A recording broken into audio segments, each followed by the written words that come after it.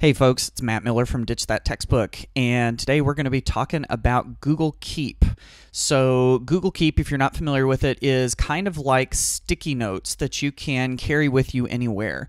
And you can take those sticky notes on a mobile device, on your computer, basically from any device that's connected to your Google account.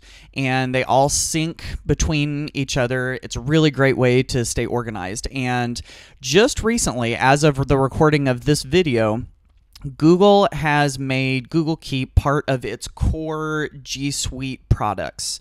So that means we get more support for it. It integrates with Google Docs, and so I kind of wanted to take this opportunity to give you a real, a real fast tour of what Google Keep can do and how you can use it. So let's jump over to the screen real quick.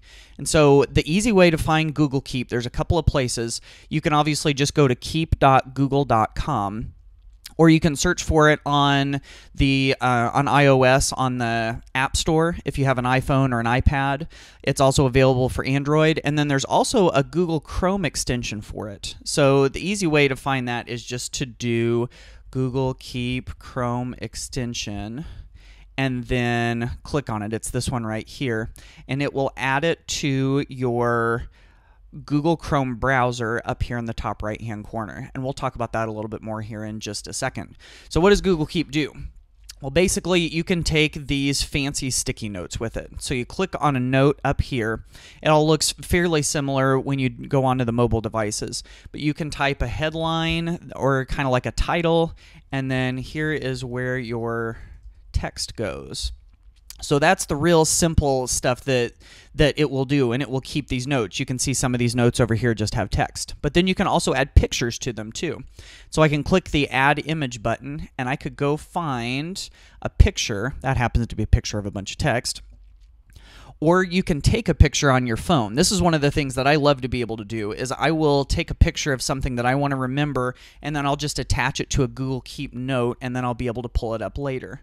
And that's basically what I did right here in this one. This was a, a picture, actually a picture that um, a friend sent me that I wanted to hang on to.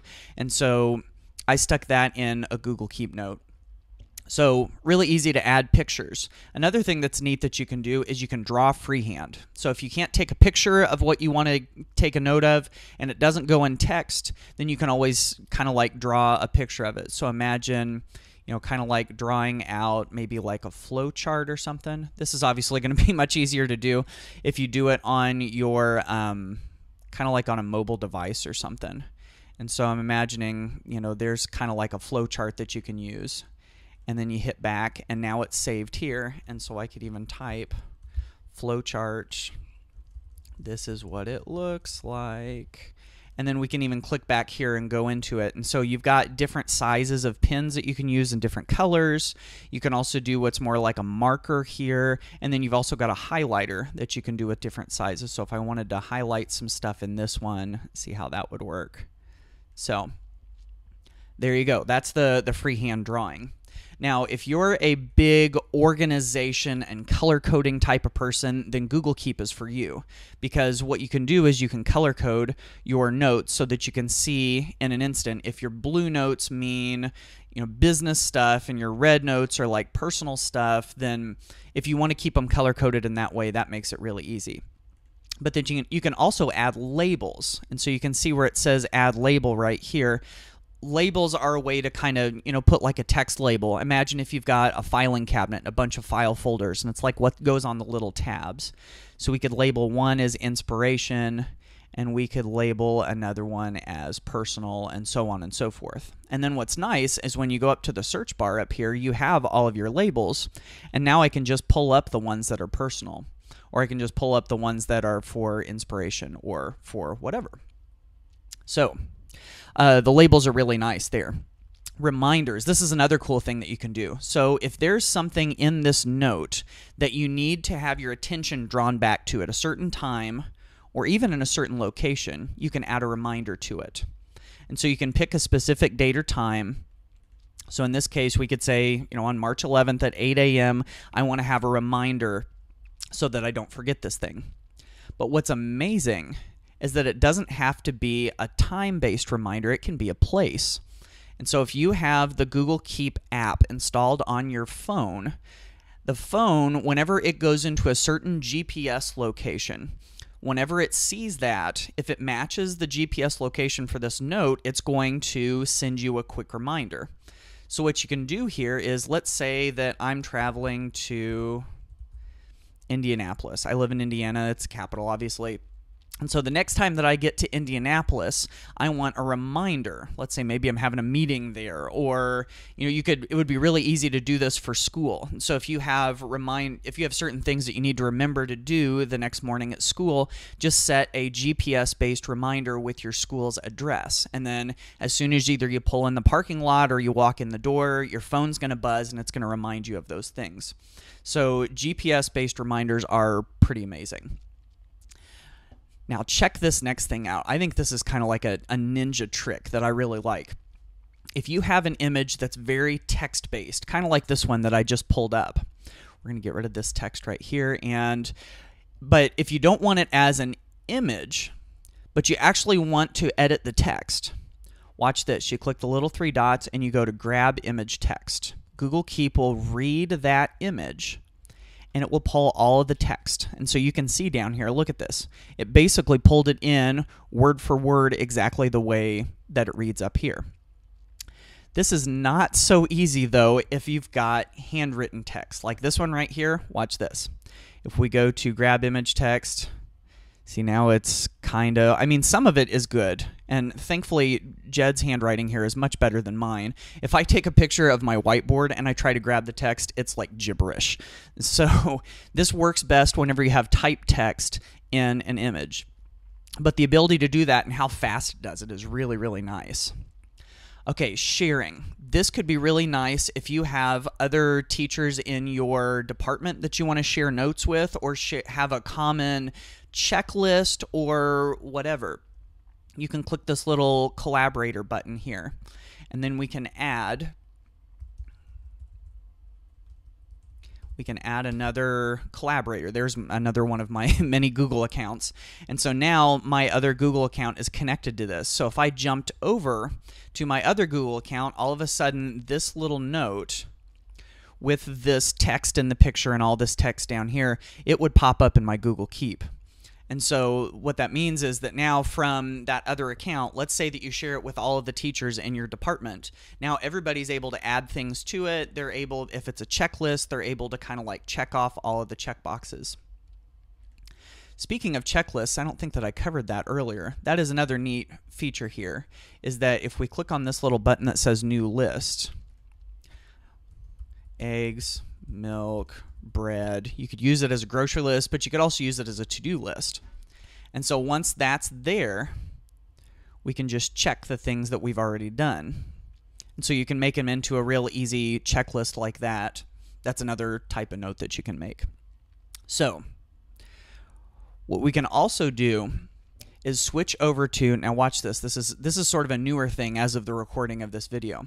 Is that if you have a Google Doc and you want to pull things in from your Google Keep, you just go to Tools and go to Keep Notepad. And so now here are all of your notes. And what you can do is you can pull over pictures and you can pull over text. So like if I wanted to grab this and pull it into my Google Doc, watch this. Boom, there it is.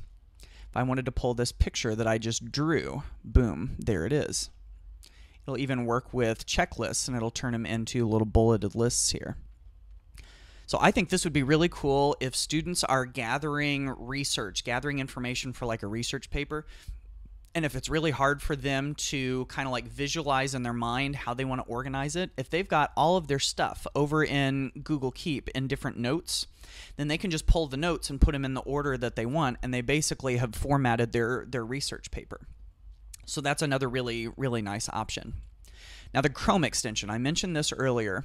Uh, I showed you how you could find it at the beginning, is just doing a Google search for Google Keep Chrome extension.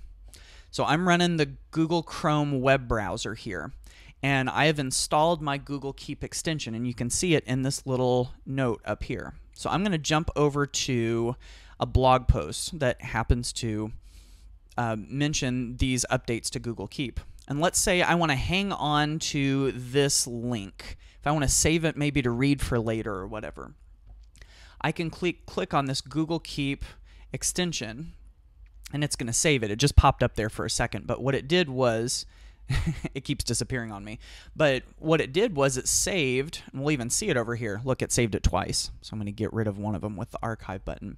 But it saved that link onto a note. So if I pull it up, there's the link of that post that I just had over there. So that's kind of nice. If you find an article and you want to hang on to the link or a video or a website or whatever, you just click on this little Google Keep Chrome extension button and it will save it as a note. And then you can obviously, you know, you can add a label to it or you can color code it or add collaborators or add more stuff to it if you want to.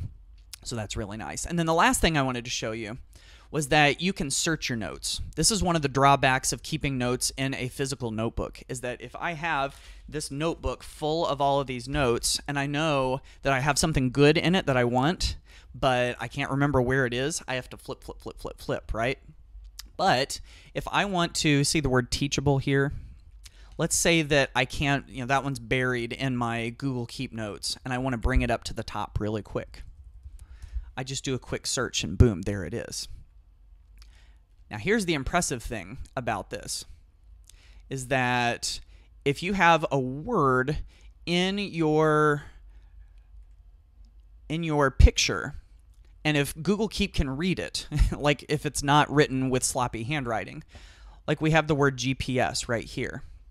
Google Keep will literally search your pictures as well. Now, with this one, we grabbed the text, and so the word GPS is actually down here.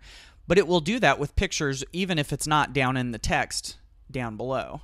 Like the text down here.